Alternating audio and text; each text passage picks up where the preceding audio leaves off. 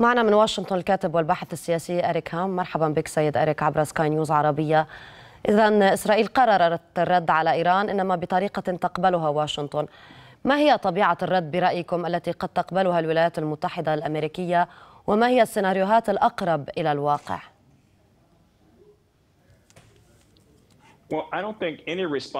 لا أعتقد أن أي رد إسرائيلي ضد العدوان الإيراني سيكون مقبول من الولايات المتحدة. فقد استمعنا إلى الرئيس الأمريكي جو بايدن الذي كان ضغط على نتنياهو رئيس الوزراء الإسرائيلي على أن يتقبل ما حصل في نهاية الأسبوع أن هذا انتصارا علما أن الطائرات المسيرة لن تتسبب بأي أضرار داخل الإسرائيلي فضلا عن ذلك الرئيس الأمريكي بايدن كان قد أوضح بشكل حاسم أن الولايات المتحدة لن تكون جزء من أي عملية مضاده ضد ايران وبالتالي نحن كنا نسمع من إدارة بايدن مرارا وتكرارا ومنذ أسابيع وأشهر أنها تريد تخفيض التصعيد في المنطقة وليس تاجيج المشكلة في المنطقة. ولكن ما نراه في هذه الحالة هو أن بنيامين نتنياهو رئيس الوزراء الإسرائيلي يملك خطه أخرى وافكارا أخرى بشان هذا الموضوع يجب ان لا ننسى أنه نعرف أن هناك الكثير من التركيز على النزاع بين إسرائيل وإيران. إلى أننا يجب ألا ننسى أن بنيامين نتنياهو كان قد أوضح أنه يريد المضي قدما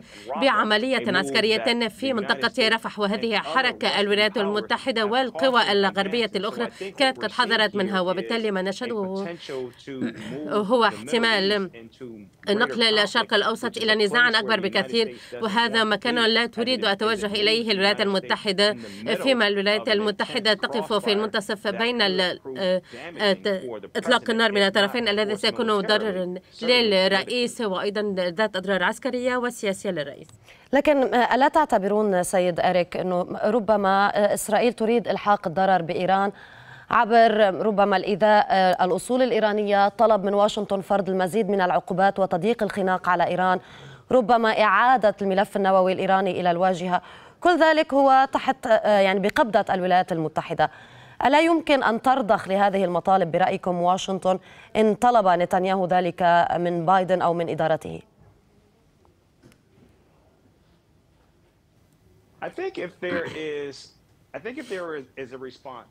أعتقد أنه في حال كان هناك ردا إسرائيليا على على الهجوم الإيراني فيما دعت الولايات المتحدة للاستمرار بدعمها لإسرائيل. لا نعرف ما هو الدور الذي تؤديه واشنطن. فكنا قد أوضحنا أننا لم نمضي قدما بالمشاركة بأي عملية ضد إيران نعرف أن إسرائيل كانت ناجحة في ردع الهجوم ولكن فعلت ذلك من خلال دعم الولايات المتحدة وبريطانيا والأردن. ونحن نعرف أن هذه الدول والشركاء لن تقبل بأي رد عسكري إسرائيلي. وبالتالي ما نشهده في هذه الحالة هو أن الولايات المتحدة كانت قد أوضحت ما هو موقفها من الموضوع وبأنها تعتبر هذه القضية على أنها انتهت. وهي تريد من إسرائيل أن تبتعد عن هذا العدوان المستمر في غزة. وخلق مسار لإدخال المساعدات الإنسانية لتصل إلى هذه المنطقة. وبالتالي ما نراه اليوم هو كما ذكرت النزاع ليس فقط نتنياهو وإسرائيل بالإضافة إلى قادة آخرين في المنطقة ولكن نحن نرى أيضا تضارب بين الغرب وإسرائيل. إسرائيل نعرف أنها تصبح منعزلة أكثر وأكثر مع كل يوم فنحن نعرف أن هناك أيضا حرب تجارية بين إسرائيل وتركيا حاليا وتركيا كانت قد رفضت توفير الحديد ووقود طائرة النفاث لإسرائيل. ونحن ندرك أيضا أن دول مثل بريطانيا وفرنسا كانت تدعو إسرائيل إسرائيل لتنفيذ التصعيد وما نراه اليوم هو دولة. ترى كيف أن أصدقائها وحلفائها يحاولون إيقاف اعتداءاتها وتغيير سياساتها.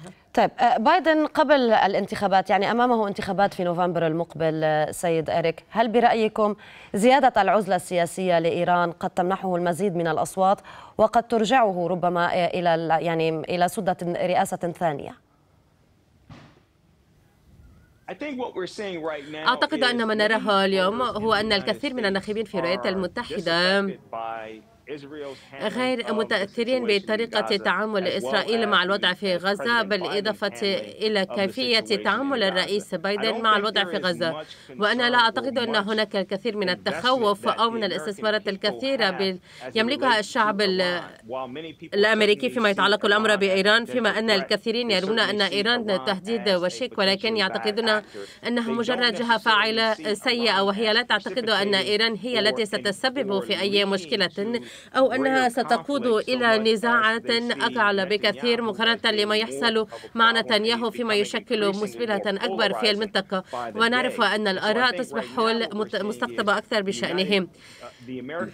إذا الناخب الأمريكي قلق جدا بشأن ما هو الدور الذي سيؤديه نتنياهو وكم الرئيس بايدن سيتمكن من الاصطفاف بشكل وثيق مع إسرائيل فيما يحاول إيجاد طرق للرد على العدوان الإيراني الأخير. طب يعني خلال مراقبتكم لسياسة بايدن منذ بدء هجوم السابع من أكتوبر وطريقة تعاطي إسرائيل مع هذه الحرب وصولا إلى الهجوم الإيراني على إسرائيل هل ترون أي تغيير في سياسة بايدن وإدارته لمراقبة الوضع الإسرائيلي ولمراقبة الوضع في الشرق الأوسط؟ هذا سؤال uh, جيد جدا شكرا على طرحه نحن نعرف أن إدارة بايدن بكل صراحة تعتمد سياسات فيما يتعلق بإسرائيل وفيما يتعلق بدول أخرى في المنطقة التي تعتمد كثيرا على حالهم. فنحن نعرف أن الولايات المتحدة كانت تناصر لإنشاء دولتين لحل دولتين فيما في الوقت عينه استمرت بتوفير المساعدة لإسرائيل ومدينة عليها بالأسلحة وكانت الطائرات المقاتلة وغيرها. ندرك أن أيضا الولايات المتحدة كانت دفعت للحصول على مساعدات إنسانية إضافية إلى المنطقة وبسعت الكثير من الأسلحة في الوقت عينه وبين أنها تؤدي دورا مهما في المفاوضات مع قطر ومصر وذلك لتخفيف من النزاع الحالي في المنطقة إلا أننا لا نرى أي مساءلة فعلية من قبل إدارة بايدن تجاه إسرائيل فيما تستمر المعارك في المنطقة وما نراه اليوم هو محاولة تخفيف الدعم لإسرائيل. ونحن نعرف أن حزمة المساعدات المهولة التي كانت تتضمن الموارد لأوكرانيا وإسرائيل يبدو أنها ستنتقل إلى الكونغرس وتصل إلى مكتب الرئاسي وذلك الحصول على مساعدات إضافية والتي ستتضمن أيضا مساعدات عسكرية لإسرائيل وذلك لتوفير المزيد من الدفاع لها ولكن هل يعني ذلك أن هذا الشك على بياض لنتنياهو. أنا أعتقد أن نتنياهو سيعتبر ذلك كذلك مع أن الإدارة بايدن تدعو لتخفيف التصعيد وليس لزيادة التصعيد في المنطقة. شكرا لك من واشنطن الكاتب والبحث السياسي أريك هام.